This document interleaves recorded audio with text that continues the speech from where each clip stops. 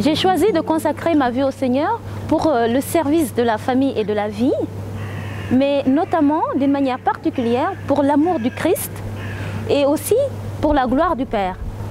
Et le Seigneur m'a donné cette grâce de pouvoir rencontrer une congrégation qui répond parfaitement à ce désir qu'il a mis en moi.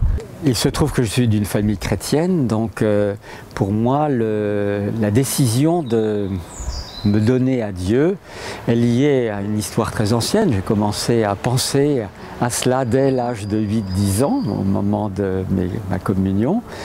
Puis en fait, ça a mûri très longuement avant que je ne choisisse d'entrer dans la vie franciscaine afin de vraiment vivre dans la contemplation et dans la proclamation de la bonne nouvelle. Suis pas d'une famille catholique à l'origine. J'étais converti devant l'Eucharistie bah, euh, avec un ami qui m'a amené à la messe. Euh, voilà, j'ai reçu la foi devant le Saint-Sacrement. Euh, j'ai été interpellé par la petite homélie en semaine euh, par trois prêtres différents, trois jours de suite.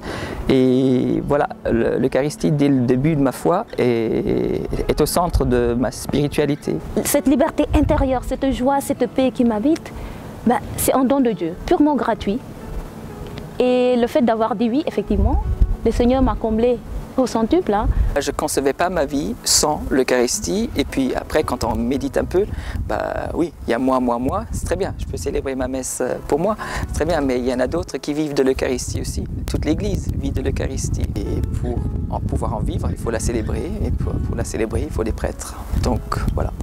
Il est nécessaire qu'il y ait des hommes et des femmes qui se consacrent à Dieu dans une vie de prière, dans un abandon total à sa volonté, dans la recherche justement de ce qui fait l'essentiel d'une vie humaine, c'est-à-dire la vie intérieure. Si le Seigneur donne ça comme, comme mission concrète, bah, ça remplit pas seulement un agenda, mais aussi un cœur euh, d'homme.